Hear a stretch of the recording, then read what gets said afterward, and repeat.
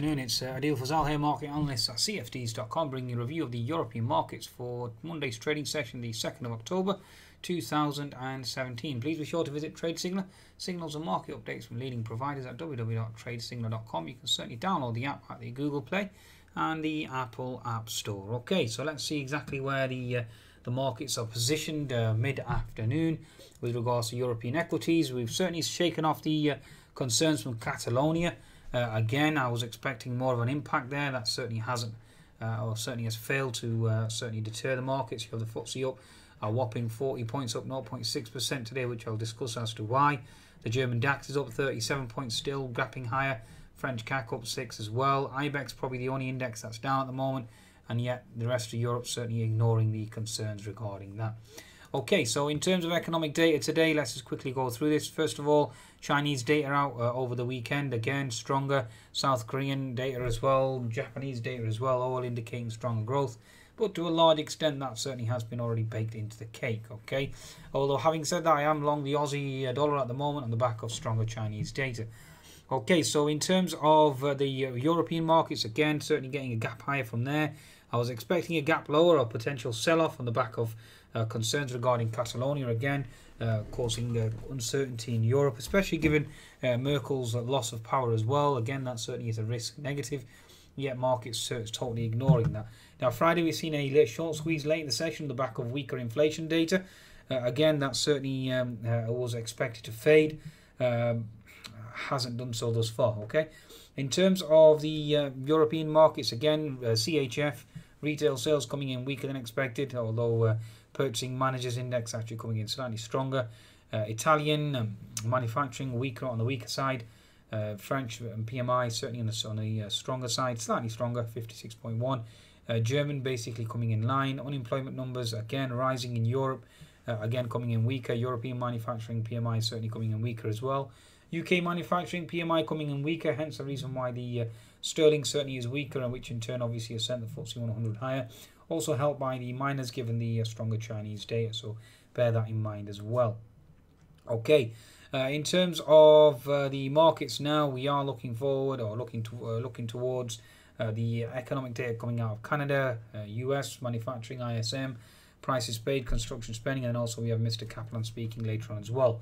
So again, from my perspective, certainly looking for risk aversion on the back of the Catalonian vote. again, certainly is a risk negative, and therefore looking for weaker price action, especially in Europe. Okay. In terms of the uh, technicals, let's go to the German DAX here. You can see we've gapped high on the German DAX up to 12,900. Ever since then, we've certainly been giving up power, uh, giving up strength. Okay. Looking to target that gap at 12,830 on the German DAX. What an impressive rally this was 12,700 up to 12,820 on Friday on the back of weaker inflation data, obviously indicating a, uh, a dovish response from the uh, the actual um, ECB. Okay, so for now, uh, Catalonian uh, response again from my perspective is risk negative and therefore looking for weakness there on the German DAX. Okay, daily chart on the German DAX is now putting in a potential topping tail. Again, that's a warning sign. We have multiple unfilled gaps left behind as well. Our ultimate resistance double top is seen at 12,950. We'll see exactly how that plays out. 60 minute chart at the moment, bear flag certainly is playing out, looking for that gap to close below at 12,830. So watch out for that gap. Uh, in terms of the next uh, index, look at the French CAC now. Uh, French CAC, I'm certainly expecting weakness here as well. 5326, currently at 5336. Looking for weakness on the French CAC as well. 60 minute chart the French CAC without horizontal resistance. So again, looking for risk aversion here. A daily chart as well into resistance, looking for risk aversion. So looking for risk off on the French CAC, certainly remain short. I'm maintaining my short bias and looking for weakness there. In terms of Euro Stoxx, Daily chart is into resistance, okay, looking for risk off. Uh, again, looking for weakness on the Euro Stoxx based on the daily chart. 60 minute chart at the moment, again, indicating bearish engulfing candle, therefore looking for weakness. Looking for a move lower. 10 minute chart at the moment, again, lower high.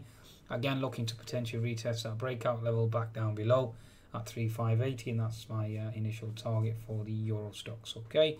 And that certainly is the status quo. So again, Chinese data, South Korean and uh, Japanese data certainly helping red sentiment. Catalonian, obviously, uh, referendum votes certainly damping sentiment, with the IBEX certainly down as well. Uh, Euro USD certainly under pressure due to that too, which in turn obviously is acting like a potential stimulus for European equities. So again, that's certainly something to consider as well. Let's see how US markets fare.